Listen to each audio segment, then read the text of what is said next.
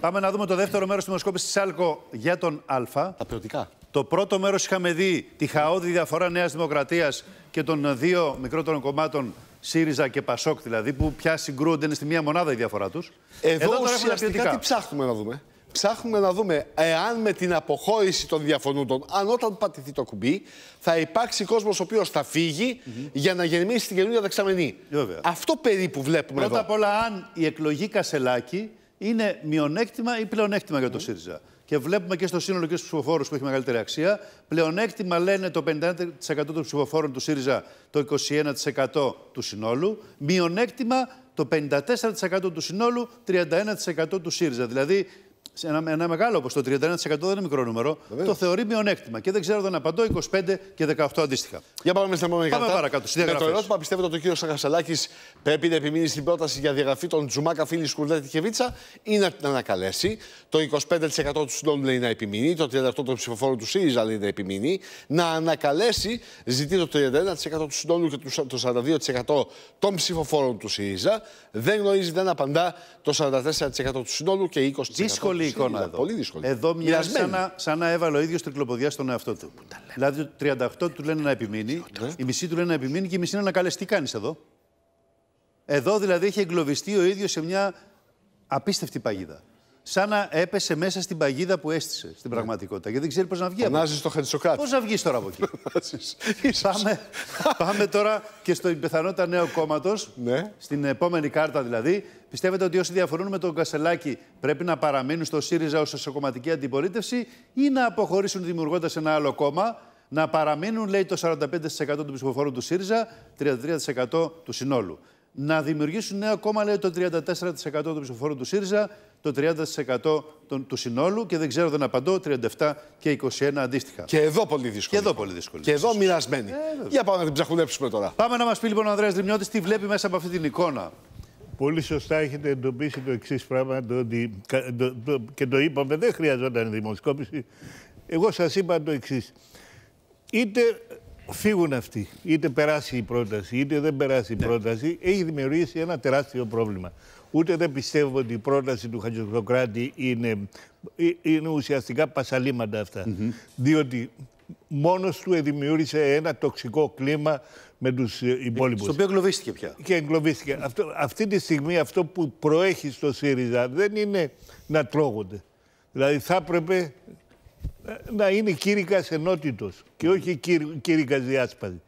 Όλα αυτά που δείξατε τώρα, εγώ, τα νούμερα δεν με ενδιαφέρουν. Ναι. Γιατί όπως σας έχω πει, κοιτάζω ποιοτικά τη δημοσκοπή. Είναι οι ψηφοφόροι του ΣΥΡΙΖΑ είναι διχασμένοι ακριβώς. Αν το δείτε καλά, είναι 50-50. Ναι, ναι, Ό,τι και να κάνει, τους μισούς θα τους χάσει. Mm -hmm. Κατάφερε δηλαδή το ακατόρθωτο. Κατάφερε, ό, όχι το ακατόρθωτο. Δηλαδή πρέπει να έχει πολύ κακούς συμβούλους. Αυτό είναι απολύτως βέβαιο. Μα μία νέα υποψηφιότητα, Αντρέα, που έπρεπε να ενώνει και έπρεπε να ανεβάζει το κόμμα, γιατί αυτό γίνεται συνήθως. Όταν έχεις ένα νέο αρχηγό, το πρώτο διάστημα καλπάζεις, φεύγεις. Υπάρχει ο ενθουσιασμός, υπάρχει η ένταση. Έτσι έπρεπε Έτσι, να είναι τα τέτοια. Αλλά αυτό το είδαμε και στην προηγούμενη. Το ότι όλοι οι αρχηγοί, μόλις είχαν εκλεγεί, και ο Μητσοτάκης και ο Τσίπρας και ο Ανδρουλάκης, υπήρχε ενθουσιασμός τουλάχιστον στο κόμμα τους. Στο κόμμα τους. Αυτός ναι. ξεφούσκωσε μετά την εκλογή του. Και κατάφερε να διχάσει το κόμμα. Αυτό, αυτό είναι αναμφισβήτητο, διότι δεν σας λέω. Εγώ σας λέω ότι ναι. δεν γίνεται τίποτα. Δεν τους διώχνει. Δεν, δεν ξέρω τι θα γίνει ναι. το Σαββατοκυριακό που λέει ο, ο φίλος μου ο Βαγγέλης. Πώς θα συνεπάρξουν αυτοί οι άνθρωποι όταν για... Ακόμα και αν μείνουν, λες. Ακόμα και αν μείνουν. Δηλαδή είναι σαν να νιώθω ότι εσύ με έβρισες, ξέρω εγώ, μου έβρισες στην Αλλά κάθομαι. Μου, αλλά κάθομαι εδώ πέρα. Θα βουλιάζουν όλοι μαζί. Βαγγέλη, τι λες, ε; πώς το βλέπεις; Ο, ο κοινός παρανομαστής και των δύο πλευρών υπάρχει ένας κοινός παρανομαστής. Ναι. Έχουμε δύο διαφορετικούς αριθμητές που συγκρούονται. Mm -hmm. Εδώ θα μου επιτρέψετε μία παρένθεση. Ακόμα δεν έχουμε καταλάβει η δημοσιογραφική κοινή γνώμη για τον πολιτικό λόγο που συγκρούονται. Ναι. Ο κύριος Κασελάκης δεν έχει καταθέσει μια πολιτική ταυτότητα που λέει Εγώ θέλω να είμαι κεντροδεξιός, ε, που τον κατηγορούν. Επομένως, εκεί έχεις μια ολική διαφωνία Δεν υπάρχει καθαρή. στο πλαίσιο της διαφωνίας. Ακριβώς. Το πολιτικό, Από την ας άλλη μεριά, η αριστερή τάση επίσης δεν έχει κα- καταθέσει ένα, μια ολοκληρωμένη πρόταση. Χρησιμοποιώ τα λόγια του κυρίου Τεμπονέρα για να μην μου πούνε κάποιοι ότι Μα είναι δεν δικές είναι μου πολιτικός ο εκτιμήσεις. Τσακωμός, Βαγγέλη Επομένως, μου. Δεν είναι επομένως, πολιτικός ο Τσακωμός. επομένως, Σωστά, δεν είναι πολιτικός. υπάρχει, Ακόμα- υ- υπάρχουν δύο, Αλλά έχει δίκιο. Υπάρχουν δύο διαφορετικοί αριθμητές. Ένας κοινός παρανομαστής. Ποιος είναι ο κοινός παρανομαστής, Ότι δεν μπορούμε να συνεχίσουμε άλλο σε αυτό το μοτίβο. Μάλιστα. Ξέρετε, το μοτίβο πολλές φορές αδικεί και τους ανθρώπους. Διότι μπορεί να ξεκινάνε από πολύ αγνές προθέσεις, όλοι τους. Αυτό όμως το οποίο έχει συμβεί αυτή τη στιγμή στο ΣΥΡΙΖΑ. χάσαν στην πορεία. Το έχουν χάσει. Το έχουν χάσει. Και γι' αυτό επιμένω κατά την εκτίμησή μου ότι ή το Σάββατο ή την Κυριακή απαντηθεί το κουμπί. οι επικεφαλείς της αριστερής τάσης Θα θα, αποχωρήσουν. πατήσουν το πιστεύεις, κόκκινο ε; κουμπί. Θα φύγουν και βουλευτές, Βαγγέλη; Ε, βέβαια. Όχι, δεν θα φύγει κανείς βουλευτής. Ο μόνος βουλευτής που μπορεί να φύγει να αναξαρτοποιηθεί εάν τελικά αποχωρήσει από την Κεντρική Επιτροπή θα είναι ο Ευκλήδης Τσακαλώτος και ενδεχομένως, κατά τη γνώμη μου, το διακινδυνεύω, η κυρία, Πυρ- η κυρία Πέρκα. Ουδής άλλος. Α, και η κυρία Πέρκα, λες. Θέλω να υπενθυμίσω, διότι το ξεχνάμε, ότι εις εκ των βουλευτών, δηλαδή μέλος της κοινοβουλευτικής ομάδος, είναι ο Αλέξης Τσίπρας. Μάλιστα. Σωστά. Έλα, Ρημούνα. Κατά την άποψή μου, το θέμα ΣΥΡΙΖΑ αφορά στον ίδιο το ΣΥΡΙΖΑ. Ο Κασελάκης είναι ένας ανίδεος, τον βρήκαν και τον βάλανε μπροστά. Αλλά ε, είναι, για μένα είναι τεχνικό σημείο. Το πρόβλημα είναι ο ίδιος ο ΣΥΡΙΖΑ. Τι θέλει να είναι ο ίδιος ο ΣΥΡΙΖΑ, δηλαδή η Αχτσιόγλου τι θέλει να, τι νομίζει ότι πρέπει να είναι ο ΣΥΡΙΖΑ; Η Αχτσόγλου έχει χάσει. Μισό λεπτό, άρημα μισό τώρα. λεπτό, μισό λεπτό. Έχουμε ηγέτη, Α, καινούργιο επίτε- ηγέτη Επιτρέψτε τώρα. μου, Αυτό δεν επιτρέψτε, αλλάζει. Ε, ε, επιτρέψτε μου να πω κάτι. Ο Τσακαλώτος τι θέλει να είναι ο ΣΥΡΙΖΑ; Μάλιστα. Ο Πολάκης τι θέλει να είναι ο ΣΥΡΙΖΑ; Ο Τσίπρας τι θέλει να είναι ο ΣΥΡΙΖΑ; Το πρόβλημα είναι ότι αυτοί δεν ξέρουν, μάλλον δεν ομονοούν, ξέρουν καθένας τι θέλει. Βεβαίως και ξέρουν.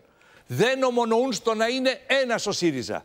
Θέλει ο, κα- ο άλλος ένας. Το, είπε- το είπε η Σία Αναγνωστοπούλου προχθές τόσο Πολύ καθαρά. Πολύ, πολύ καθαρά. Πραγματικά δεν ηρωνεύομαι. Είπε η κυρία, απολύτως αν φύγουμε εμείς τα έρμα, είμαστε το 3%. Αυτός είναι ο ΣΥΡΙΖΑ. Καταλάβετε το, ο ΣΥΡΙΖΑ είναι ένα κόμμα του 3%, ο οποίος γιγαντώθηκε λόγω κάποιων κοινωνικών συνθήκων.